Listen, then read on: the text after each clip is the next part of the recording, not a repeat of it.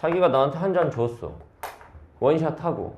그 다음 다시 한 잔 줬어. 근데 그거를 눈치 보고 있다가 계속 버려버리는 거야. 대학 가서 술을 안 마시는 한 방법입니다. 이거. 동아리 신고식, 뭐 선서한다, 뭐 저저저거 하면 어 중간에 틀리면 마셔 그러면 이제 뭐 선생님이 이제 대학교 때 밴드를 했어요. 신고식을 하루 종일 해요. 그 운동장을 막 수십 바퀴를 뺑뺑이를 돌려. 그리고 하루 종일 막, 막 얼차려가 태동하고 동기는 하나다, 뭐 악기를 내 몸같이 막 이러면서 막 하루 종일 그- 그러다가 이제 하루 종일 굴르다가 막 신문지 이렇게 펴놓고 뭐 네 명 그 위로 올라가봐 그러면 신문지 안으로 다 들어가야 돼. 네 명. 아니 밴드를 하는데 왜 신문지 위에 올라가야 돼? 모르겠어 왜 하는지는 뭐 단결력을 보겠다 막 이런 거야 그러니까 그리고 저녁이 되면 2학년 선배, 3학년 선배, 4학년 선배 쫙 앉아. 요즘에 아마 그런 거 안 할 거야. 애들 막 죽고 막 그런 사고 있어가지고 그 이후로는 안 할 텐데 나- 막걸리, 짬뽕 그릇 한 병 다 들어가. 선서문 한 장을 주는데 그 막 운동장 달리고 굴르고 그때 그때 외워야 돼. 그리고 한 글자도 틀리면 안 돼. 어 해봐. 그러면 선서 뭐 이렇게 해요. 근데 요걸 하기 전에 일단 막걸리 1.2리터 원샷.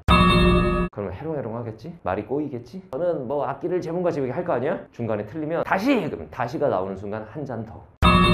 나중엔 발음이 저를 막 이렇게 해요. 이거를 한 세 잔 마시면 어떻게 되느냐? 이만한 세숫대 같은 거, 요만한 게 뱉고 또 먹으라는 거야.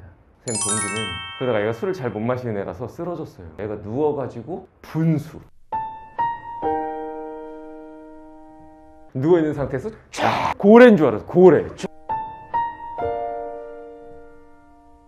뿜어져 나오는데 우와 기가 막히듯 그래서 선배들이 그렇게 해놓고는 애들 다 한 명씩 챙겨가지고 다 재우고 다음날 딱 일어나면 선배들이 이제 해장국 같은 거 딱 이미 시켜놨어요 딱 먹고 막 그렇게 했었어요 뭐 그랬다